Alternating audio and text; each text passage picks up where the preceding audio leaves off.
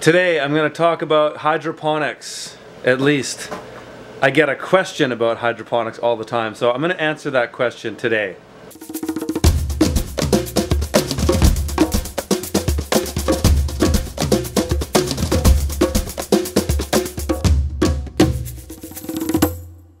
I get this one a ton, and I don't know why people always ask me why I don't do hydroponics. So I'll, I'll address this question in two ways. I'll first answer why I don't do hydroponics, and then I'll address what I think of hydroponics. So first of all, the reason I don't do hydroponics is why would I? I've got a great thing going on.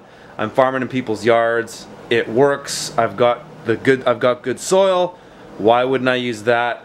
It's kind of what I've built my career on. So I'm not interested in hydroponics because it's not really relative to my context, basically besides from that, uh, I'm not really that interested in hydroponics either, and the main reason is is I just don't really think it is all that necessary, depending on context. Of course, I think the most important and relevant context for hydroponics in general would be high density urban areas, areas that don't have good soil, whether it's contaminated or it's pest ridden, or places like the Arctic or Antarctic. I think, or or maybe on Mars. So maybe there's four reasons there um, that hydroponics would make sense. The way I see it is, if you've got good soil, use the soil.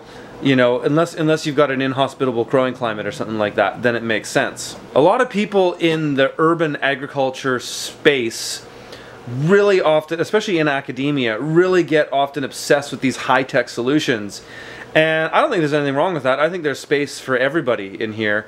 I think um, you know it's a wild west of innovation in urban agriculture right now, and I think there's room for everybody and every kind of idea. So I think it's great. I think people developing all kinds of high-tech systems that can go on rooftops or in the Arctic or in the tropical climates that you can't grow in good soil.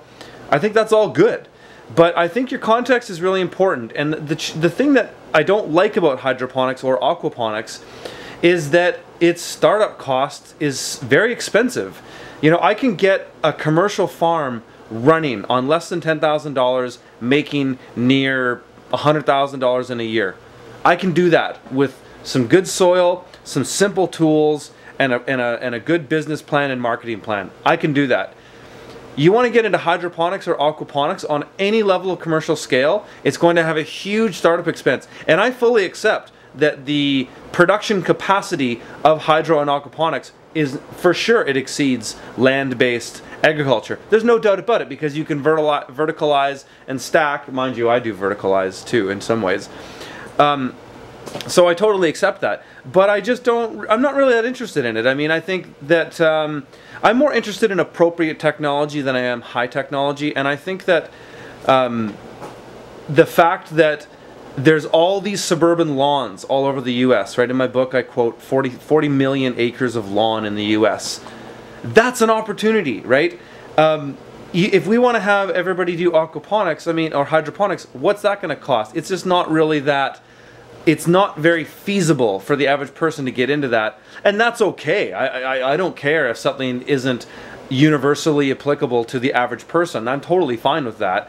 I just think that is a movement, I'm more interested in something that can work for a lot of people because I would like to live in a world where there's millions of new farmers opposed to 10 farmers feeding the world.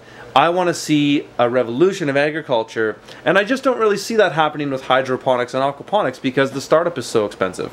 So those are my main thoughts on that. I hope that clears up some of the questions that I get on this one a lot, and I told people that I'd make a video on it, so this is it. Hope you guys enjoyed it. Please subscribe to the channel if you like this stuff. Check out my online course, my book, and please consider making a donation to the channel. I've been putting in over 15 hours a week on top of all the other things I do to make these videos, and I want to keep making them free for you guys. So anything you can donate is totally appreciated, and it all goes to making sure I can keep producing this content for you guys. All right, thanks a lot.